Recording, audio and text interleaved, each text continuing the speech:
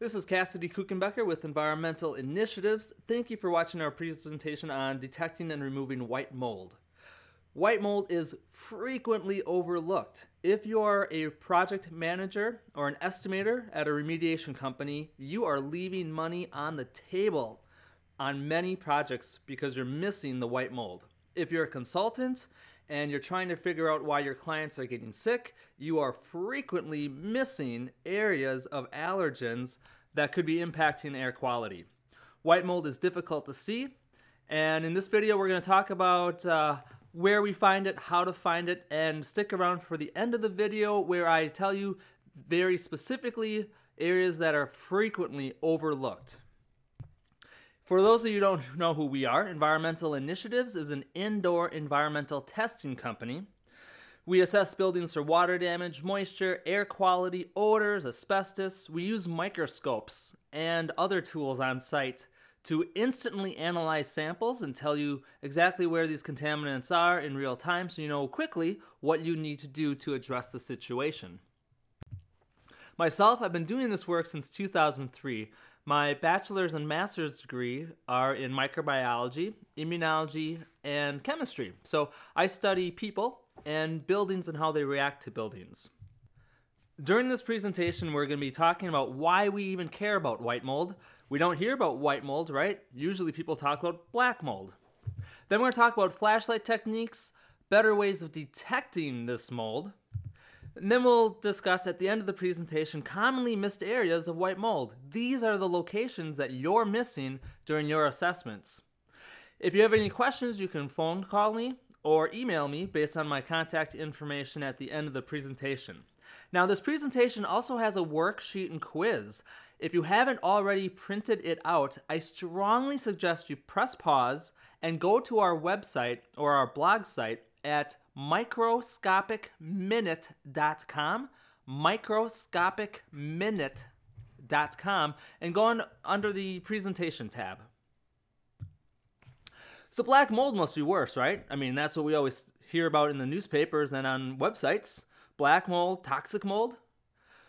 You might be surprised to find out, however, that dark colored molds in our experience, are actually less interesting than the light colored molds when it comes to health. So, where did the term black mold come from? Back in 1994, there was a single CDC researcher with a single project where they were looking at the bleeding lungs of multiple infants in Cleveland they she determined or believed to have determined that the issue was the result of being exposed to a black colored mold called Stachybotrys in the houses. Stachybotrys, like many molds, produce various mycotoxins, which are chemicals that are used as biological agents to fight off other molds or bacteria or give the mold some other uh, advantage in the environment. So she believed that it was an inhalation of this mycotoxin from Stachybotrys that was causing the bleeding lungs. However, the uh, media loved the story and they created the terms black mold and toxic mold. We in the industry hate those terms because they are misleading, but they were also created by an outside entity, the media. However, in 1999, the CDC retracted their report they found that their science was lacking, and uh, they realized that the Stachybotrys had nothing to do with the bleeding lungs as far as they could tell. But did the media take back their portrayal of black mold? No. So we're still dealing with those terms, and we're still dealing with people incorrectly thinking that Stachybotrys and other black colored molds are somehow inherently worse than other molds. So the research never did support this, even in the last couple of decades. We do know that mold matters and some molds affect some people, but it's not really the mold. It's the person and the amount of mold sometimes, and other things in water damaged buildings that matter. So when we compare light colored molds and dark colored molds in health, it is our experience that people react more to light colored molds. Or if they're going to report health symptoms from exposure to a moldy building, we're most often finding exposures to white color or light colored molds. So why is this? Is there an apparent difference in how much people react to the light versus dark molds? Maybe. And if there is, well, here's my thoughts as to why. Dark colored molds being pigmented, they uh, resist the UV light better. And outside, we get exposed to far more dark colored molds than we do white or light colored molds. But inside, uh, with the lack of UV inside a house, these light colored molds can dominate. These molds that we've never been exposed to before until our modern housing. Which might be, whether you believe in evolution or creationism, uh, basically our bodies just aren't used to or aren't made for the types of molds that we used to always be exposed to. And maybe that's why there's this apparent difference in level of health impact. In addition, you will get more release of mold spores from light colored molds than dark molds, usually, uh, until you start to you know disturb the materials then you get all sorts of moldy debris releasing from everything but if the mold's growing and you simply have normal airflow over it light colored molds result in a lot more release of debris into the air. Also, light colored molds are, or I should say, most of the opportunistic pathogen molds, the molds that will uh, grow and infect people who have lowered immune systems, most of those are light colored versus dark colored, so we care more for that reason as well. Now, these light colored molds, I told you that they release far more spores, and it's because per square inch, light colored molds in general per square inch have tons more mold spores uh, that will want to release from airflow. Uh, here's a light colored mold on the left, aspergillus. You can see all those little white dots, those are all spores, and they're far smaller than the brown mold spores from Chaetomium, the mold Chaetomium, which is on the right. So you simply have a lot more spores that want to release per square inch on a surface for light colored molds. All right, so white and tan mold hidden in plain sight. What are you missing and what, uh, how can we better detect these areas of growth? So first off, dark colored molds, easy to find, right? You walk around, you can see them. But the problem with white, green, and tan molds is that they often, um, or they're often camouflaged. They look very much like the surface that they're on, or they're simply too light to discern with your eyes in either way. Here's an example of a situation. It's a cottage up in Door County. Uh, a restoration company came through because it smelled very musty in this cottage for multiple years, and the uh, estimator found nothing. And I don't blame him for not finding anything. The homeowner, too, has been living here uh, seasonally for many years, never saw where the mold was. We walked through and we used uh, the flashlight a little bit differently, and what we found was white colored mold everywhere on all of the wood surfaces, on all of the logs, in every single room. So, how did we see the mold when other people missed it? Well, it's how we use our flashlight. When you're going to be shining a flashlight on a wall or on a surface like the legs of a table, don't shine it directly at the surface. So don't shine it perpendicular to the surface. Instead, run the light across the surface. Uh, so you run the light parallel with the surface. When you run the light parallel with the surface, the mold uh, easily pops uh, visually. Here's a fantastic picture showing the difference between the light hitting going down the wall. On the left, you see all the white mold popping, and where the light is simply hitting the wall on the right hand side of this picture where you don't see that white mold on the wood. Here's another picture from that same cabin that we showed a couple pictures before where there's white colored mold on pretty much all the furniture, all the additional surfaces, and it was simply overlooked because the flashlight wasn't used properly in that space. That was a situation where the remediation contractor could have had a five figure uh, restoration project that someone else instead got because they missed the mold during their estimation. All right, here's a surface, here's a situation that's a little less obvious, uh, but it's still very common. So we see the white colored mold on the exterior of the kitchen cabinetry.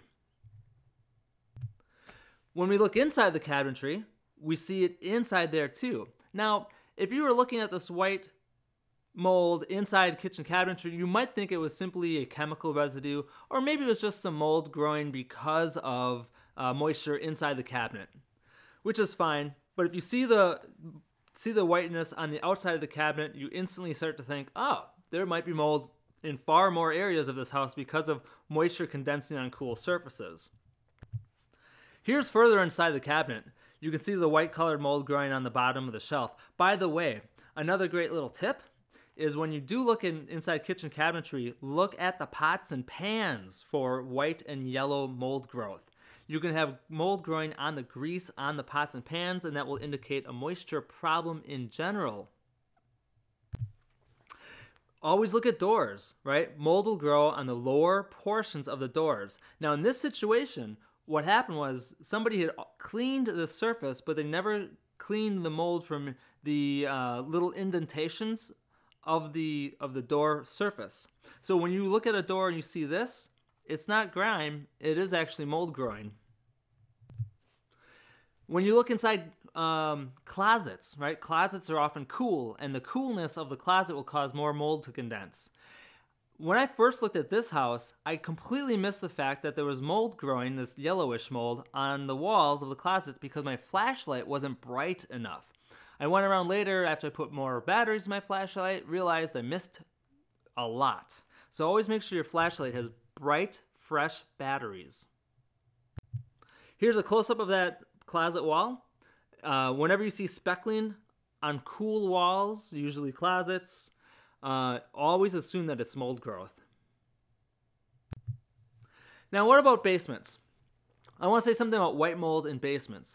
First off, when you see white colored mold growing on the floor joists, like we do here, but not on the subfloor, that mold almost always grew because of water on standing on the concrete floor of the basement. So standing on the floor, so flooding, a pipe release, or something like that. When you see white colored mold not on the floor joists, but instead on the contents like um, uh, furniture or luggage, White colored mold on the on the contents, but not the floor joists, almost always indicates uh, elevated humidity in general because they weren't dehumidifying, usually in summertime. Now, when you see dark colored molds or light colored molds on the floor joists and the subfloor, the floor joists and the subfloor, that could be from flooding, but it's also often from mold that grew on that wood during construction when the subfloor was very cold because it wasn't you know heated you know in the in the late summer or maybe uh, springtime. And so it was still cold on the first floor condensing on the bottom of the subfloor all right now we're going to talk the last thing regarding white colored mold and that's in attics now in attics it's really easy to see dark colored molds Dark colored mold in attics is the result of long term, so multiple winters, long term modest amounts of moisture. So humidity enters the attic, condenses on the cold roof decking, causing the dark mold to grow over a couple of years. But white mold is often overlooked. Black mold is easy to see in attics, white mold is not. In this case, uh, dark colored molds grew first, but light colored molds grew later on over the dark colored mold. But it's hard to see, isn't it? Light colored molds are easier to see when the mold starts to grow down the uh, rafters. So we need to be very careful when you're assessing attics to make sure you're not missing white colored mold. White colored mold in attics means that there's a lot more condensation and they grow very quickly. You can have just a couple square feet of white colored mold turn into a whole attic if the moisture, you know, within just a few days or a few weeks if if there's a new humidity source in the house that's causing this to grow. So white colored molds always mean more moisture and sometimes that can also mean uh, rapid expansion. All right, where are people missing these white molds? First, always look at the bottom of the lower shelves in basements. So if you're in a basement looking for water damage or moisture, get on your knees, look at the bottom of the lower shelves. Uh, mold will often grow on the bottom. Look at pool sticks, doorknobs, anything that's greasy, right? The mold will grow on the hand grease, and so you'll see it uh, like up and down the pool cues. Always look at the lower two feet of furniture and luggage in basements. So get again, get on your knees, look at the bottom of the of the couches, flip up the fabric at the bottom of the couches, look at the lower legs of the chairs. Shoes and closets, first floor closets, basement closets. You know, we're looking at well, primarily first floor closets where they're cold. Open up the open up the closet doors, move the furniture, move the uh, clothes away from the exterior wall. Look at the shoes that have a lot of grime on them. They'll support the mold growth. Uh, also, look at the back sides and the lower sides of beds and dressers. Anything where you have furniture up against cold exterior walls, you can have mold growing on the back sides of the furniture, often overlooked. And also look inside kitchen, bathroom cabinetry, anywhere where there can be a lot, there can be more moisture condensing inside those uh, cabinetry, which can sometimes be cool because there's uh, plumbing, because there's exterior walls. And of course, like we said before, always look at the bottom sides of the doors, specifically the back of the door uh, facing the inside of like closet closets will often be where you see the white colored mold at the bottom of the doors. All right, thank you for joining us for this presentation. Again, if you haven't looked at the quiz, go to microscopicminute.com. Download the quiz, it helps you follow along. If you have any questions, please email or call me. And uh, watch this video one more time in a couple of weeks because it's very important as a consultant, as a contractor, that we are not missing these white colored molds and that we're adequately removing the contaminants to help our clients.